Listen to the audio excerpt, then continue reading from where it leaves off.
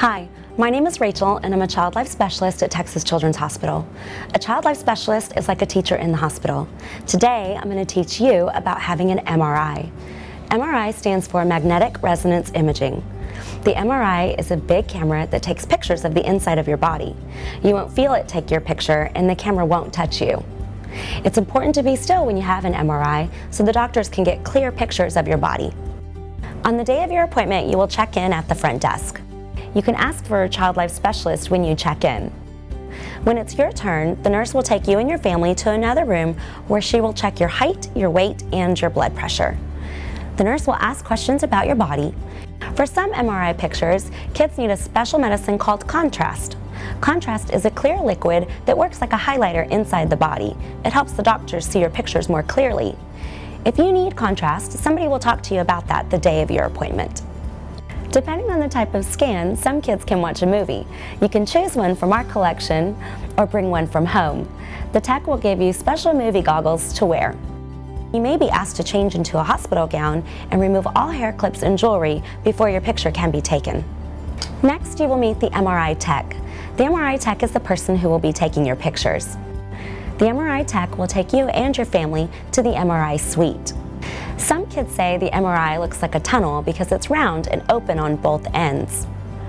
All the rooms at Texas Children's Imaging locations have been specially designed to help you relax. Depending on where you are, you may be able to pick your favorite color to light up the room, or play with the pretend scanner to see how the MRI works before it's your turn.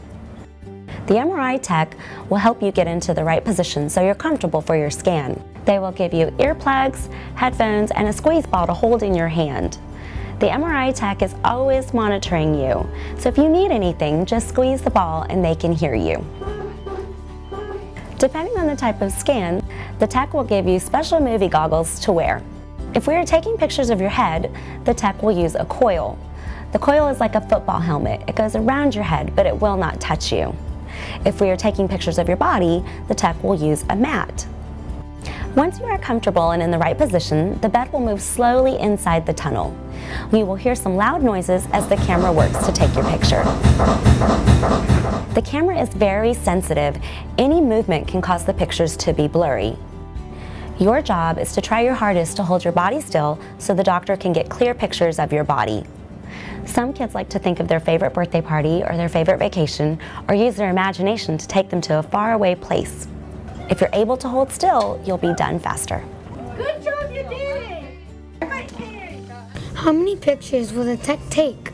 That depends on your doctor and what they're trying to see in your body. On the day of your visit, you can ask the MRI tech how many pictures they'll be taking. How long will it take? Most MRIs take at least 30 minutes, but it depends on the number of pictures the MRI tech is taking. What if I need to go to the bathroom? The MRI tech can see and hear you on the monitors. You'll have a special squeeze ball in your hand, so if you need anything, just squeeze the ball and you can talk to the tech. Can I see my pictures?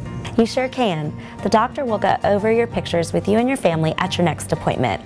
Is it dark inside of the MRI tunnel?